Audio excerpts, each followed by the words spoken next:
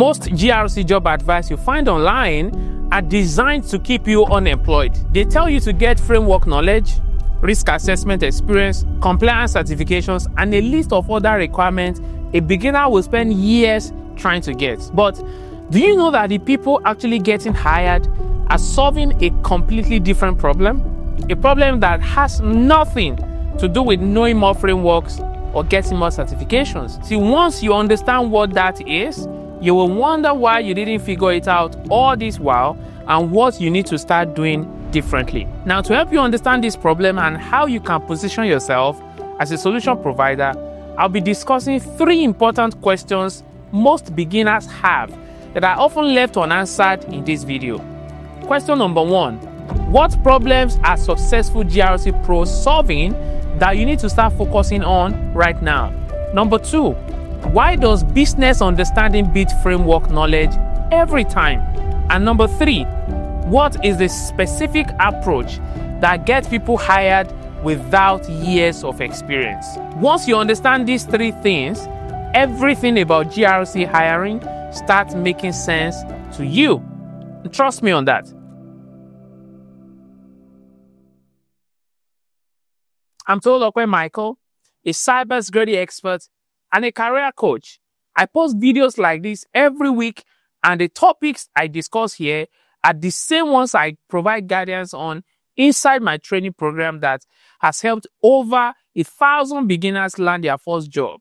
If this sounds like the kind of value you're looking for, please don't forget to hit the subscribe button and turn on your notification bell for more videos like this. Now, let's start with question number one. What problems are successful GRC pros actually solving? When you start working in cybersecurity, one thing you realize very quickly is that hiring managers are not looking to see whether you can recite ISO 27001 controls. No, they're not. Most candidates show up talking about control objectives and risk matrices, but executives don't think in terms of frameworks. They think in dollars, timelines, and a competitive advantage. They are more interested in whether you can help them avoid the compliance failures that destroy businesses. So, unless you can immediately present yourself as the candidate with these capabilities, you will keep wondering why you're not getting past the interview stage. Because the thing is, there's a huge difference between compliance theory, okay, and business compliance reality. Do you understand? Business compliance reality is messy, okay? It is political and it is full of competing priorities that frameworks don't address. So, to answer question number one, successful GRC pros solve business problems, not compliance puzzles. Do you understand? Question number two why does business understanding beat framework knowledge every time? Now, to begin with, most people entering GRC make the same mistake. And I made it too early in my career, okay? Most of us treat GRC like an academic subject where more knowledge equals better outcomes. So we study frameworks, collect certifications, and we memorize regulations. See, I spent months learning every detail of ISO 27001 I could recite controls in my sleep. But when I got into my first role, none of that mattered as much as I thought it would. GRC in the real world is not about perfect implementation of theoretical frameworks. No, it's about helping organizations stay compliant while still achieving their business objectives. Okay? The candidates getting hired demonstrate this business understanding. The ones getting rejected, they only show framework knowledge. And that is to say, business understanding wins every time because compliance exists to protect business objectives. Okay? So, the sooner you understand that, the easier it will be to move up the career ladder. Moving on to question number three What is the specific approach that gets people hired without experience? It is the same question every beginner asks at one point or the other in their career. How do you develop business understanding when you don't have GRC experience yet? Honestly, it's simpler than you actually think. Okay? You start by researching the actual compliance challenges that are facing different industries and business models. See, throughout my career, I've worked with healthcare organizations that are struggling with HIPAA compliance during digital transformation initiatives. I've seen financial services firms facing increasing regulatory scrutiny around operational resilience and then third party risk. And I've helped technology companies as well that are expanding internationally deal with complex data localization requirements. Okay, see, these are not theoretical problems, they are current business realities that you can research and understand. When you can speak intelligently about these real world challenges, you are not just another candidate with certifications. You are someone who understands the business context where GRC work actually happens. One person I worked with spent weeks researching the specific compliance challenges facing SaaS companies preparing for SOC 2 audit. So when she interviewed at a SaaS startup, she could immediately discuss their likely pain points around access controls and data security. She got a job, of course, because she understood their business context, not because she had the most certifications. Don't get me wrong, okay? Certifications still matter, they do, but not as credentials to collect, okay? They matter as business problem solving methodologies. See, I tell everyone starting in GRC to think about certifications differently. ISO 27001 lead implementer teaches you how to build security programs in real organizational context. GRCP covers the strategic integration of governance, risk, and compliance functions, right? CGRC, on the other hand, focuses on risk management frameworks and security authorization processes. I always advise people to choose certifications based on the business problems they teach you to solve, not just the recognition they provide. You know, I get a lot of messages from people asking how they can break into cybersecurity. It's tough, especially if you're like how I used to be, stuck in a job that doesn't pay enough, or feeling like you've hit a wall. I get it. That is why I created something more than just these videos you're watching.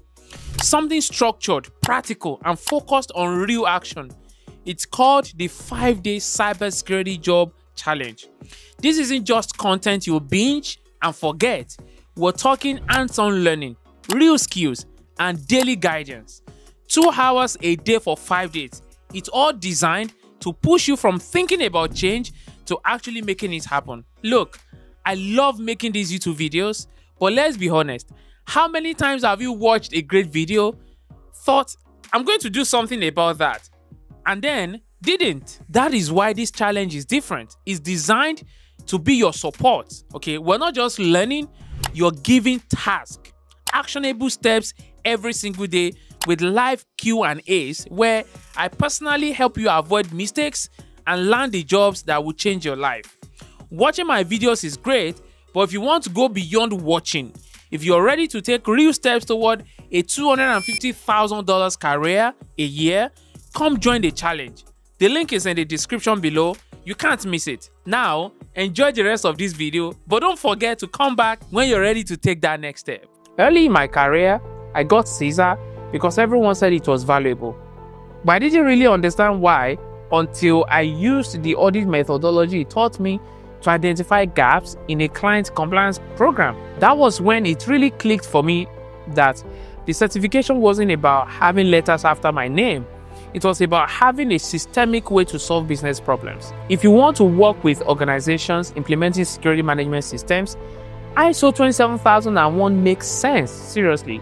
And if you are interested in risk management integration, GRCP or CGRC would be more relevant. Now, the key is understanding how each certification's methodology applies to real business scenarios.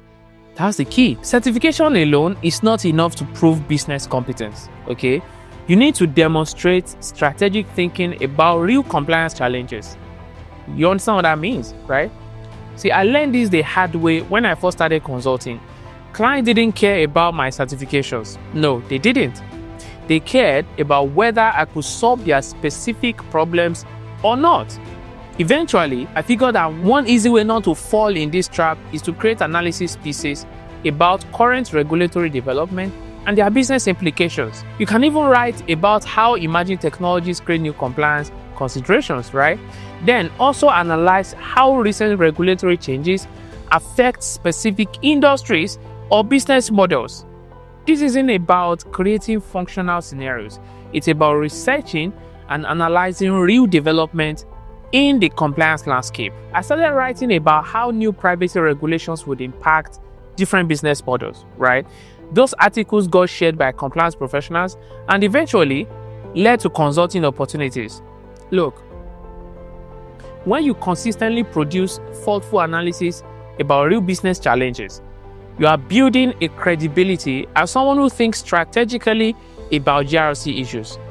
That is what separates you from candidates who only demonstrate framework knowledge. Now, when it comes to interviews, your approach should reflect business understanding, not just framework knowledge. I've coached people through GRC interviews, right? And the ones who succeed, they ask questions that demonstrate they understand the company's actual challenges. But to do this effectively, so you are not asking the wrong questions, you must already have researched their industry current regulatory environment. Okay. You also need to understand their business models compliance implications and know what regulatory changes are affecting their sector. See, that's the only way you can show up prepared to discuss how their specific business context creates unique compliance considerations. One person I worked with researched a fintech company's regulatory challenges before his interview. He asked thoughtful questions about their approach to operational resilience requirements and consumer duty compliance. The hiring manager later told him that conversation convinced her he could handle the strategic aspect of the role. But I must say this nobody expects you to have all the answers. No. You just need to demonstrate that you think strategically about compliance in business context and that you think differently from other candidates. Once you land your first GRC role, how you advance in your career now depends on how you help your organization succeed safely, not just how you help them follow compliance checklists. Okay? This is the same thing I tell my students and all the people I've mentored over the years. I learned this watching the GRC professionals who got promoted fastest in organizations I worked with. One thing is, they didn't just implement controls, they helped leadership understand how compliance enabled business strategy. The GRC professionals who advance fastest are the ones who become trusted business advisors, not just compliance administrators.